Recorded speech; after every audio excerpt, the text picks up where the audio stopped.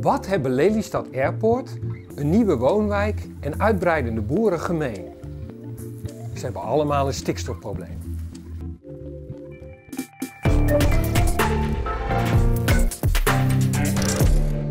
Nederland staat stil. Boeren mogen niet meer uitbreiden, duizenden bouwprojecten liggen stil en snelwegen mogen niet meer worden uitgebreid. Dat komt door een uitspraak van de hoogste bestuursrechter in Nederland. Ons stikstofbeleid voldoet namelijk niet aan de Europese natuurwetgeving. Nederland is een hotspot voor stikstof. Wij stoten ontzaglijk veel stikstof uit en dat is een ramp voor de natuur. Stikstof is een gas. Dat zit in onze lucht. 78% van onze lucht bevat stikstof. Dat ademen we in en dat ademen we weer uit. En dan gebeurt er niks. Want het is namelijk niet reactief. De stikstof die een probleem vormt is reactief stikstof. Dat is stikstof die een verbinding aangaat met andere stoffen. Zoals met zuurstof en dan heet het stikstofoxiden. Dat gebeurt bij de verbranding van fossiele brandstoffen, zoals bij het verkeer of bij de industrie. Een andere verbinding die stikstof aan kan gaan is met waterstof. Dan krijg je ammoniak en ammoniak zit bijvoorbeeld in onze kunstmest.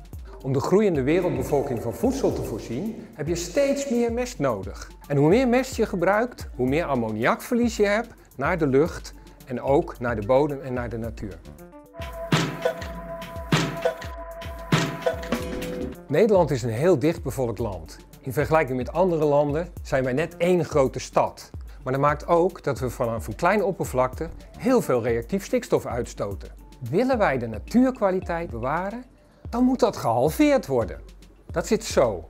Door het gebrek aan stikstof is in de natuur een rijkdom aan plantensoorten ontstaan. Als er nou meer stikstof in die natuur terechtkomt, dan gebeuren er twee dingen.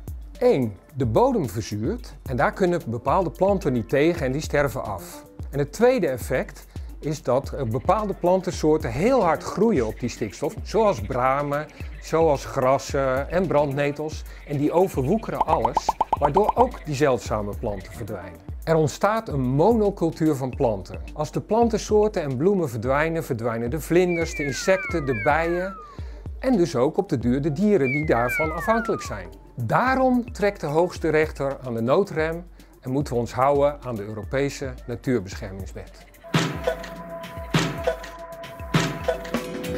Te veel reactief stikstof heeft nog veel meer effecten. Het draagt bij aan fijnstof in de lucht. Het is een broeikasgas dat bijdraagt aan klimaatverandering. Het tast de ozonlaag aan en het vervuilt ons water. Er zijn daarom veel meer redenen om stikstofuitstoot te beperken. En dat heeft natuurlijk ook gevolgen voor onze economie. Op dit moment liggen bouwprojecten stil, worden wegen niet meer uitgebreid, geen staluitbreidingen. Stikstof is dé uitdaging voor de 21ste eeuw. En Nederland zit daarmee in een spagaat. Kiezen we voor de natuur of voor de economie?